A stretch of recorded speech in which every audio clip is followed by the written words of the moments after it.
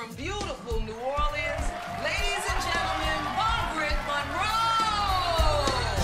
None of this would have been possible without Eugene. This is the most watched ministry on the face of the earth. Honey, I'm hopping the jet for D.C. tonight.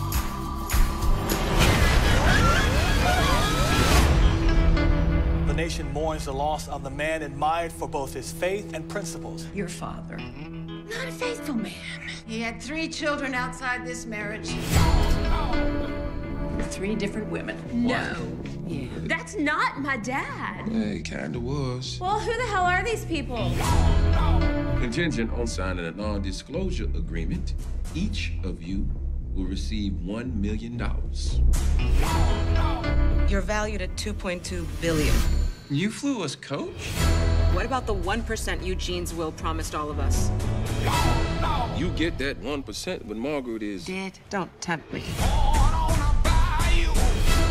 I think that somebody wanted Eugene Monroe dead.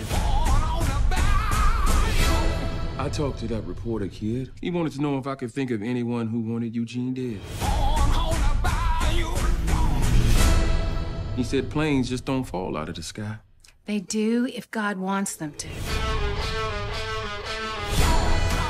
I've dealt with a lot of bastards to get where I am. These three will be no different. You're playing with fire. Oh, I haven't even lit the match. Why is everyone so determined to burn our company to the ground? I'm gonna remind them who I was before all this and who I still am.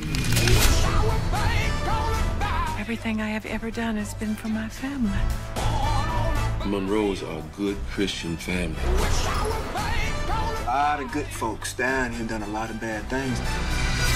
You have lost your damn mind! Your mom's a bitch. Fraud, money laundering, murder.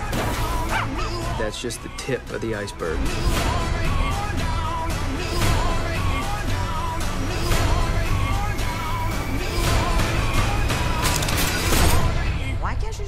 Mail us our checks? Why all the drama?